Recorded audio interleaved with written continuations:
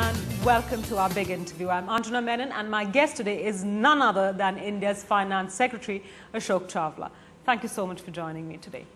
Um, you know, let's begin with some of the recent news that we've had about the economy and of course everyone's been talking about the central bank's rate hike, 25 basis points, some say too little. Do you expect that we're going to see further hardening in as soon as um, in the next couple of months, maybe as soon as April?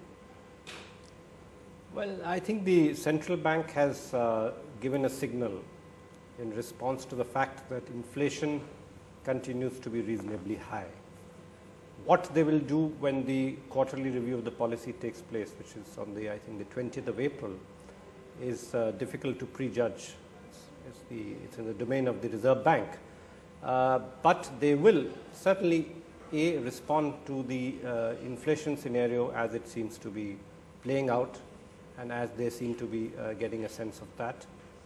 They will certainly take into account the fact that um, growth is, uh, is, is better now, but that these are incipient signs and that they need to watch carefully on the way ahead.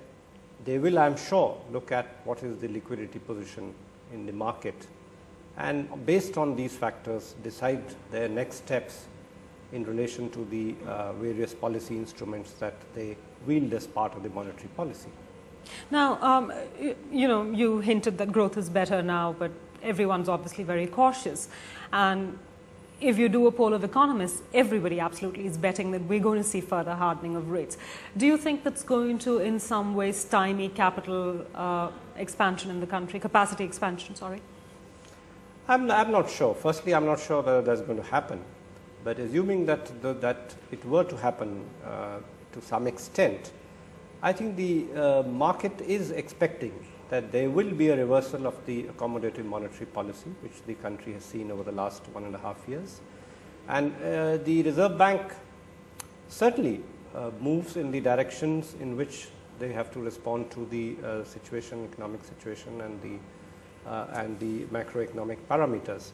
You would recall that they the, the policy became much more accommodative over a period of few months where the rates went from about 5% to 9%. And then they have to come down.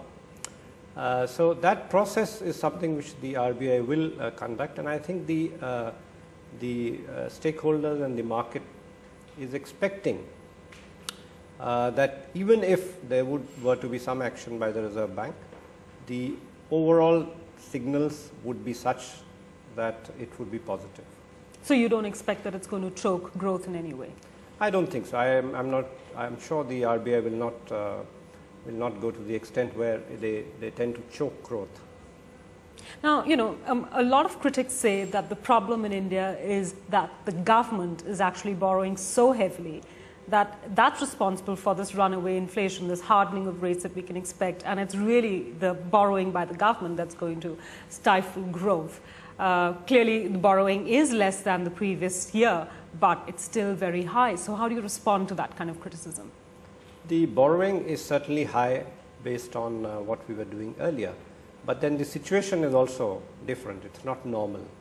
Uh, the borrowing in the year 2009-10, which is just concluding, has not in any manner led to any disruption in what the, uh, what the private sector and the other borrowers would expect from the marketplace. So, in that sense it has been non-disruptive. Uh, 2010-11 we expect and we hope that there is more private sector borrowing. And while we do have a reasonably big and robust borrowing program, the expectation again is that we will try to do it with the RBI in a manner that it does not cause stress uh, we see a lot of silver lining in the fact that external commercial borrowings are still attractive and that large corporates would go and seek that from overseas sources at competitive rates. Besides, uh, for the other borrowers, there is substantial bank credit which should be available because the, uh, the uh, non-food bank credit is still not at the levels at which it was before the crisis. Tubar.com